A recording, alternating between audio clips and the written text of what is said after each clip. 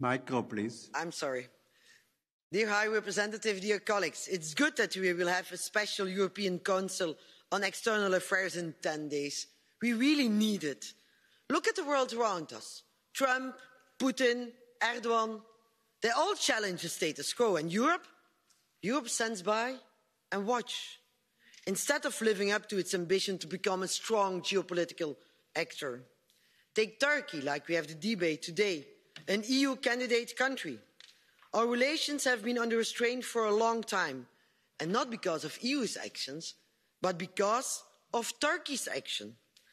yes we need to stay on speaking terms but let's be honest and acknowledge that this turkey cannot join europe.